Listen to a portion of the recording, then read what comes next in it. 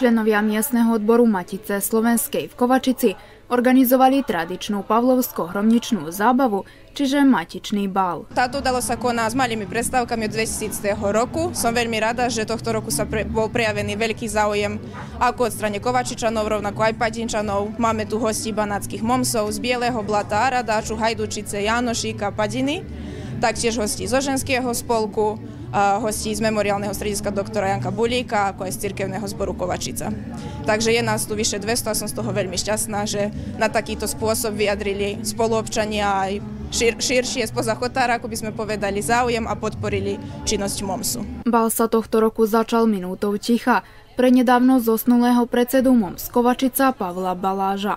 Predtým, ako čo začneme so zábavou, poprosím vás, aby sme si minútou ticha uctili pamiatku na horlivého mačičiara, predsedu MOMSu Pavla Baláža.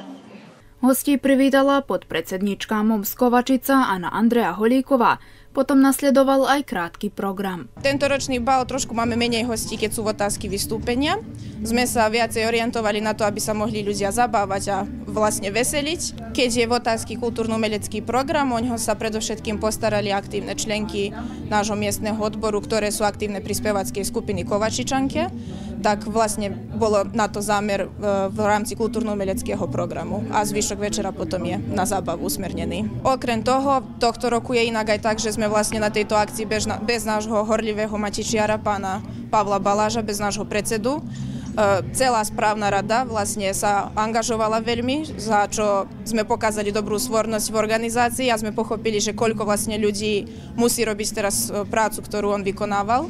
Takže to je také inakšie a nové, ale predsa som rada, že sme aj vlastne aj na jeho česť, môžem tak povedať, sa nám podarilo takáto zábava v takomto veľkom počte. Večierku sa zúčastnili aj predstavitelia iných miestnych odborov Matice Slovenskej. S predmom z Hajdušica sa o svoje dojmy podelila Rozália Hudecová. Či dvaja, či štyria, za každým sme sa snažili, aby sme prišli. E, veľmi sa pekne dojmy, e, veľmi je pekne vidieť toľkých Slovákov na, na, na jednom meste. E, u nás je to už veľmi málo, lebo nás je to všetko menej a menej a keď god máme príležitosť sa voľade zúčastniť, my to prídeme a sa pekne pobavíme. Vidíme, koľko nás je to a vidíme, že ešte tá svornosť medzi nami Slovákami jestvuje aj keď je pekne, aj keď je nepekne, e, stále sa môžeme jedni na druhých dať, že máme pomoc. Na Pavlovsko-hromničnú zábavu rád chodí aj Ivica Grujiteľ Litavský z Aradáča. Tak ako kovačický právňuk z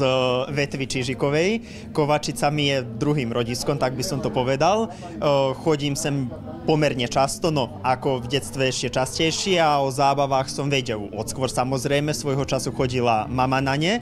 Tu som e, druhýkrát, v Lani sme boli, už teda pred Vlani a hlavne teraz. E, poznám veľmi dobre organizátorov a hlavne som milovník ľudovej e, slovenskej hudby, tak to proste jedno s druhým ide a samozrejme aj tancujem rád, takže sklbím to tak spolu. V tejto uponáhľanej, chaotickej, digitálnej súčasnej dobe e, stretnutia medziľudské sú proste na nezaplatenie a bohatstvom považujem, že je vlastne to, čo ľudské styky uh, urobia, okrem toho samozrejme zdravia aj múdrosti, takže uh, takéto stretnutia veselice by mali byť aj v letných časoch, aby sme nemuseli sem chodiť taký naobliekaní. Takže si myslím, že na podobné budem chodiť, uh, samozrejme ako povinnosti budú, budú dovoľovať. Ani na tohto ročnom bále nechybala bohatá tombola, ako aj výber pre najroztancovanejší pár, najsympatickejšieho Pavela a najsympatickejšiu Máriu.